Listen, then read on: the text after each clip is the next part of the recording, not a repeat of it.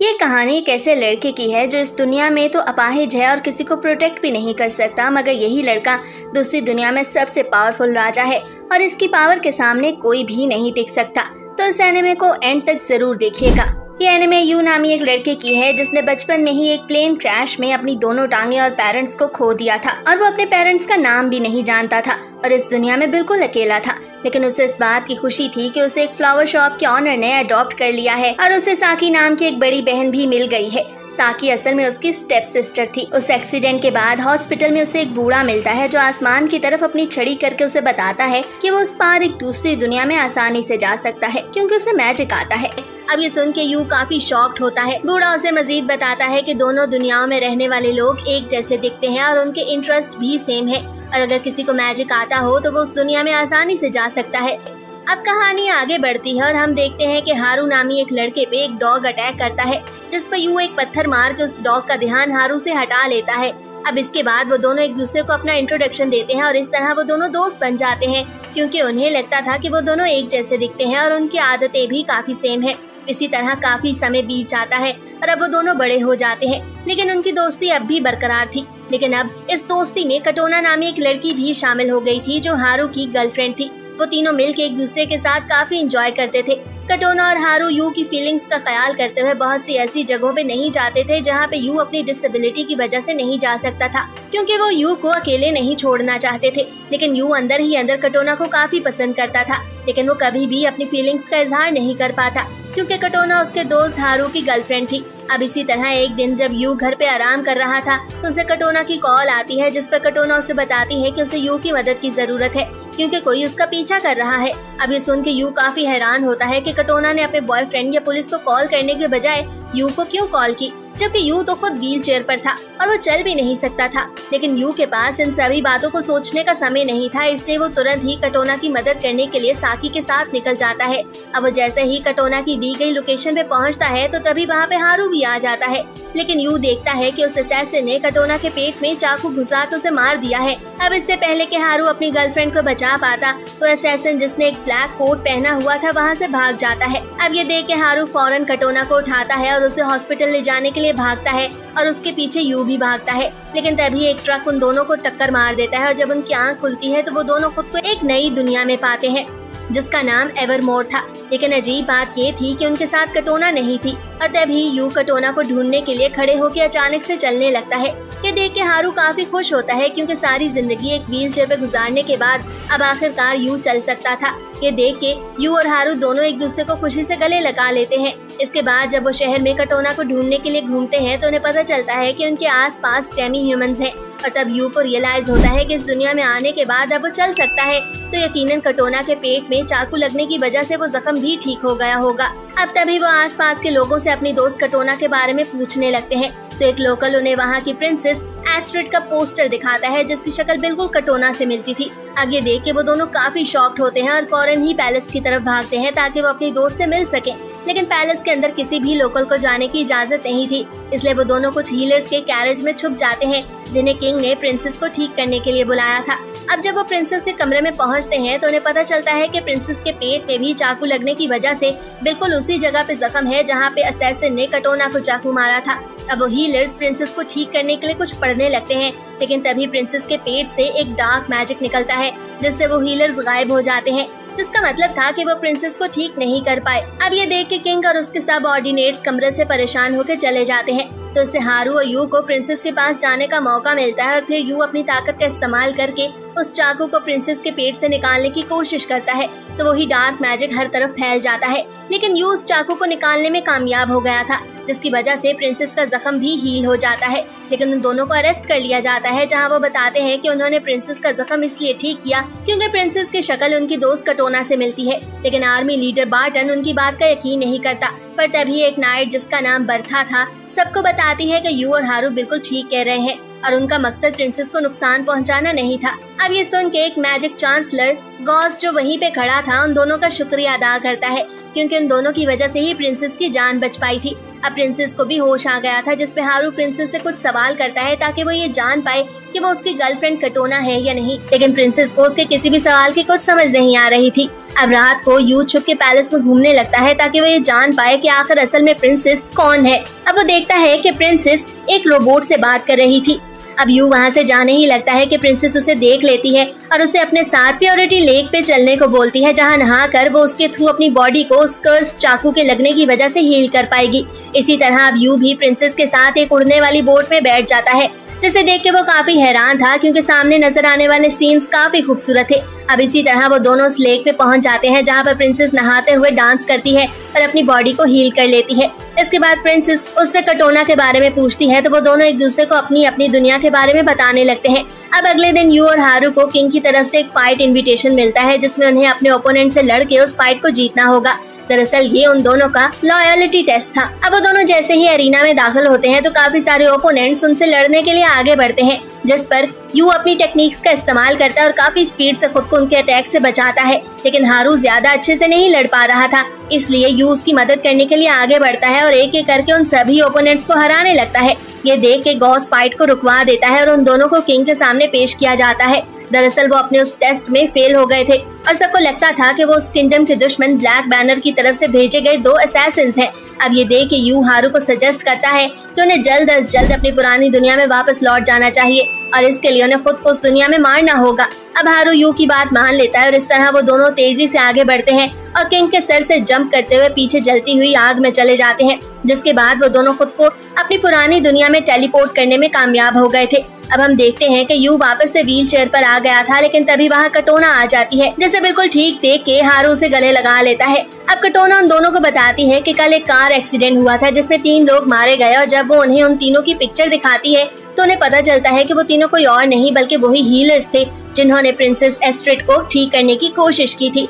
अब ये देख के यू को उस बूढ़े आदमी की बात याद आती है, जिसने बताया था कि उन दोनों दुनियाओं में रहने वाले लोग एक जैसे हैं और उनकी लाइफ भी एक दूसरे से लिंक करती है। लेकिन हारू को इस सब पे बिल्कुल यकीन नहीं था। उसका ख्याल था कि वो सभी कुछ एक डरावना खाक था। इधर यू का मानना था कि कटोना प्रिंसेस एस्ट्रेट को बचाने के कारण ही इस दुनिया में ज़िंदा है। अब अगले दिन कटोना स्कूल नहीं आती तो उन दोनों को उसकी फ़िक्र होने लगती है, जिस पर उन्हें पता चलता है कि वो हॉस्पिटल में है। अब वो दोनों जब उससे मिलने जाते हैं तो कटोना उन्हें बताती है कि उसे एक जानलेवा बीमारी है और उसके पास ज़िंदा रहने के लिए सिर्फ़ तीन महीने ही बचे हैं।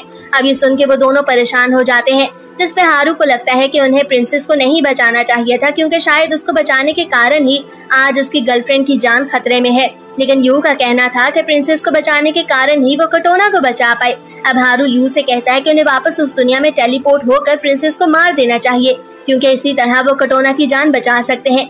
लेकिन यू उसकी ये बात नहीं मानता, क्योंकि उसका ख्याल था कि कटोना और प्रिंसेस दोनों की जान को ही बचाया जा सकता है, और इस तरह वो दोनों इस बार उस दूसरी दुनिया में अलग अलग टेलीपोर्ट होते हैं। यू वहाँ पैलेस में टेलीपोर्ट होता है, जहाँ पर सबको वो बताता है कि प्रिंसेस एस्ट्रेड की जान को खतरा है, लेकिन कोई भी उसकी बात का यकीन नहीं करता। अब बार्टन उन सबको बताता है कि हारू को ब्लैक बैनर के साथ देखा गया है। इस उनके यू को उसकी बात का यकीन नहीं आता और वो सबको डिनाई करता है। अब ये देखते हुए गौस आगे बढ़ता है और यू को एक स्वर्ड देता है ताकि वो प्रिंसेस एस्ट्रेड की हिफाजत कर सके। लेकिन बदले में यू को अपने दोस्त हारू को मारना होगा। अब यू वो स्वर्ड लेके प्रिंसेस के पास जाता है, जिस पर प्रिंसेस उसे खुद को मारने को बोलती है ताकि वो अपनी दोस्त कटोना की जान बचा सके। लेकिन यू प्रिंसेस से कहता है कि वो यहाँ किसी की भी जान लेने नहीं आया और वो नहीं जानता कि प्रिंसेस और उसकी दोस्त कटोना की लाइव्स एक दूसरे से कैसे लिंक करती हैं। लेकिन उन दोनों को ही बचाना चाहता है।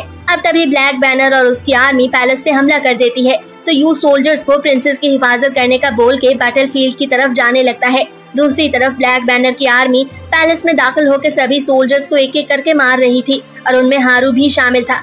अब यू और हारू एक दूसरे को कन्फ्रेंट करते हैं, जहाँ पर यू से ये सब करने से मना करता है। क्योंकि प्रिंसेस को मारने से कटोना की जान भी चली जाती। मगर हारू हर कीमत पर प्रिंसेस को मार के अपनी गर्लफ्रेंड कटोना को बचाना चाहता था। इसलिए वो यू की बात नहीं मानता और उसे धमकी देता है कि अगर उसने उसकी बात ना मानी तो वो यू को भी मार देगा। अब उन दोनों के दरमियान एक ज़बरदस्त फाइट शुरू हो जाती है, जिसमें यू हारू पे भारी पड़ रहा था। अब यू हारू की स्वर्ड को नीचे गिरा देता है और उसे उस फाइट को रोकने की रिक्वेस्ट करता है। लेकिन हारू यू से कहता है कि उसे नहीं रुकना चाहिए, बल्कि हारू को मार देना चाहिए। क्योंकि अगर उसने हारू को ज़िंदा छोड़ दिया तो फिर वो प्रिंसेस की जान ले लेगा। अब ये देखते हुए यू अपनी स्वर्ड से हारू पे अटैक करने लगता है, लेकिन तभी हारू भी अचानक ही अपनी स्वेट पकड़ लेता है और इस तरह दोनों दोस्त जिन्होंने सारी ज़िंदगी एक दूसरे के साथ गुजारी थी, अब एक दूसरे को मारने वाले थे। लेकिन तभी सीन चेंज होता है और हम देखते हैं कि वो दोनों वापस पुरानी दुनिया में आ गए हैं, जहाँ पे हारू को पता चलता है कि कटोना की हालत और ज़्यादा खराब हो गई है। अब यू हारू को ये सब देखते हुए समझाता है कि उसे प्रिंसेस को नहीं मारना चाहिए।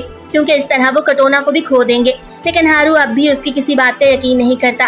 अब तभी यू को रियलाइज़ होता है कि बैटल फ़ील्ड में बर्था पे ब्लैक बैनर की आर्मी अटैक कर रही थी। इसलिए वो हारू के साथ अपनी बहन साकी को देखने जाता है तो वहाँ जाके वो दोनों देखते हैं कि वही असैसिन जिसने कटोना पे हमला किया था, अब साकी पे भी अपने चाकू से हमला करने वाला था। लेकिन तभी यू एक पोर्ट उस असैसिन पे फेंक के अपनी बहन को बचा लेता है और वो तीनों वहाँ से भाग जाते हैं। अब वो असैसिन जैसे ही बाहर आता है तो वो एक मॉन्स्टर स्पाइडर में बदल जाता है। अब वो दोनों साकी को भी उस दूसरी दुनिया के बारे में बताते हैं तो साकी उन्हें बताती है कि वो असैसिन उसे सिस्टर साकी कह रहा था, जो कि सिर्फ़ हारू और यू ही उसे बोलते हैं। अब ये सब देख के हारू को रियलाइज़ होता है कि प्रिंसेस को मारना ठीक नहीं है, क्योंकि इस तरह वो कटोना को भी खो सकता है। अब ये सब देखते हुए वो वापस टेलीपोर्ट होके एवर मोर जाते हैं, जहाँ यू प्रिंसेस किंग और गॉस को कन्फ्रंट करता है। वो प्रिंसेस को बताता है कि उसकी जान लेने वाला कोई और नहीं, बल्कि वहाँ खड़ा मैजिक चांसलर गॉस ही था, क्योंकि उसकी बहन साकी का निक नेम यू और हारू के अलावा किसी को भी नहीं पता था। अब ये सब सुन के गॉस सबको बताता है कि यू झूठ बोल रहा है, क्योंकि उसके पास कोई भी सबूत नहीं है। तब यू सबको बताता है कि उस चाकू से निकलने वाले मैजिक की खुशबू और गॉस की बॉडी से आने वाली खुशबू सेम है। अभी सुन के प्रिंसेस गॉस को उसके कपड़े उतारने को बोलती है, जिस पर गॉस जब अपने कपड़े उतारता है तो उसकी बॉडी पे हर तरफ़ उसी डार्क मैजिक के निशान थे, जिस पर अब हर तरफ़ वो मैजिक फैल जाता है और गॉस सबको अपनी असल आइडेंटिटी बताता है कि वो ब्लैक बैनर का लीडर गैलेरॉथ है। लेकिन असल में उसकी एक और आइडेंटिटी भी थी। दरअसल वो किंग का बड़ा भाई सैडुलस था, जिसे उसके फादर ने बचपन में ही मार दिया था, लेकिन अब वो दोबारा से पैदा हो गया था ताकि वो अपना बदला ले सके। अब ये कहते साथ ही गॉस आर्मर सूट पहन लेता है और गैलेरॉथ की शक्ल में आ जाता है। तब वो हारू पे अपने मैजिक का इस्तेमाल करके उसे ऑर्डर देता है कि वो प्रिंसेस को मार दे, क्योंकि प्रिंसेस को मार के ही वो वापस से किंग बन सकता था। अब हारू उसकी बात को मानते हुए प्रिंसेस की तरफ़ बढ़ने लगता है, मगर यू से रोकने की कोशिश करता है। लेकिन हारू उसकी बात नहीं सुनता तो यू अपने हाथ से एक लाइट निकालता है, जिस पर हारू पर से वो मैजिक हट जाता है और वो नीचे गिर जाता है। अब ये देखते हुए गैलरॉथ प्रिंसेस को किडनैप करके वहाँ से ले जाने लगता है तो यू अपनी पावर का इस्तेमाल करके गैलरॉथ को रोकने की कोशिश करता है। मगर वो उन दोनों के दरमियान आए उस बैरियर की वजह से ऐसा नहीं कर पाता। अब हम देखते हैं कि गैलरॉथ प्रिंसेस को पैलेस से बाहर ले जा रहा था और उसने पैलेस को तबाह करना शुरू कर दिया था, जिस पर यू गैलरॉथ की तरफ़ बढ़ता है क्योंकि उसने प्रिंसेस को ज़मीन पे फेंक दिया था। अब यू प्रिंसेस को बचा तो लेता है, लेकिन तभी एक स्पेयर आके उसकी बैग में घुस जाता है तो हारू वहाँ आके उस स्पेयर को निकाल देता है, जिससे अब यू का खून तेज़ी से बहने लगा था। अब तभी वो तीनों वहाँ से एक सुरक्षित जगह चले जाते हैं ताकि वो यू को ठीक कर सके। लेकिन यू अभी भी आँखें बंद किए हुए था। तो प्रिंसेस यू के माथे पे किस करती है और उसे सबके लिए माफ़ी मांगती है। अब यू देखता है कि प्रिंसेस और हारू गैलेरॉथ से लड़ने के लिए वहाँ से चले जाते हैं। तभी वही हॉस्पिटल वाला बूढ़ा आदमी यू के पास आता है और उससे पूछता है कि क्या उसे मौत से डर लगता है। तो यू से बताता है कि हाँ लेकिन इससे ज़्यादा उसे अपने प्यारों को खोने से डर लग रहा है। अब ये सुन के बूढ़ा अपनी छड़ी यू को देता है और उसे बताता है कि इस छड़ी को उसके असल हीरो के पास ही होना चाहिए। अब यू उस छड़ी को पकड़ लेता है तो उसे पता चलता है कि वो छड़ी मैजिक से ग्लो कर रही है। दूसरी तरफ़ गैलेरॉथ एक बहुत बड़ी मॉन्स्टर फॉर्म में बदल गया था और उसने प्रिंसेस और हारू को भी पकड़ लिया था। अब वो प्रिंसेस को स्क्वीज करके सारा मैजिक उसके अंदर से निकालना चाहता था और तभी वो हारू पे भी अटैक करता है। लेकिन उसका ये अटैक यू वहाँ पहुँच के अपनी उस छड़ी से रोक लेता है। अब वो छड़ी एक डेडली स्वर्ड मॉन स्टार में बदल गई थी। और उस स्वर्ड की ताकत ने यू के जख्म को भी हील कर दिया था। ये देख के गैलरॉथ आसमान पे ऊपर चला जाता है तो यू भी अपने मैजिक के ज़रिए एक जॉइंट बर्ड पे बैठ के गैलरॉथ के पास पहुँच जाता है और अपनी स्वर्ड के ज़रिए गैलरॉथ का बाजू काट देता है और प्रिंसेस को नीचे गिरने से भी बचा लेता है। जिसपे गैलरॉथ को उस पर गुस्सा आता है और वो वापस यू पे अटैक करता है, लेकिन यू अपनी स्वर्ड का इस्तेमाल करके उसके उस अटैक को डॉज कर देता है और खुद को बचा लेता है। ये देख के गैलर और प्रिंसेस पे अपना मैजिक स्पेल कास्ट करता है तो प्रिंसेस उस डार्क मैजिक में छुप जाती है, जिस पर यू आगे बढ़कर प्रिंसेस को बचाने की कोशिश करता है, मगर गैलरॉथ यू को पीछे से रोक लेता है। इसके बाद वो यू पे अटैक करने ही वाला था कि वो देखता है कि यू की स्वर्ड उसके हाथ में नहीं है। तो जब वो पीछे मुड़ के देखता है तो उसे पता चलता है कि अब उस स्वर्ड को हारू ने पकड़ा हुआ है और हारू इसी बात का फ़ायदा उठा के गैलरॉथ के सर में स्वर्ड को घुसा देता है, जिससे गैलरॉथ की वहीं पे मौत हो जाती है। इसके बाद उन्हें पता चलता है कि वो इन दोनों दुनियाओं में सिर्फ़ गैलरॉथ की वजह से ही आ जा सकते थे, लेकिन अब गैलरॉथ के मरने के बाद वो दोबारा इस दुनिया में कभी वापस नहीं आ पाएँगे। तो ये देख के प्रिंसेस यू को गले लगाती है और कहती है कि वो हमेशा उसके साथ रहना चाहती है, लेकिन वो ऐसा नहीं कर सकती। अब सुन के यू सोचता है कि उसे अपनी दुनिया में वापस नहीं जाना चाहिए तो प्रिंसेस उसे बताती है कि ऐसा नहीं हो सकता, क्योंकि इस तरह उसकी दुनिया में यू ज़िंदा नहीं रह पाएगा। अब हारू यू को जल्द अज जल्द वहाँ से चलने को बोलता है, क्योंकि पुरानी दुनिया में जाने का गेट बंद होने वाला था। ये देख के यू और हारू वहाँ से वापस जाने लगते हैं, लेकिन वापस जाते समय यू हारू की तरफ़ मुस्कुरा के देखता है और उसका हाथ छोड़ देता है। इसका मतलब था कि हारू तो वापस अपनी पुरानी दुनिया में चला गया, मगर यू वापस प्रिंसेस एस्ट्रेड के पास आ जाता है।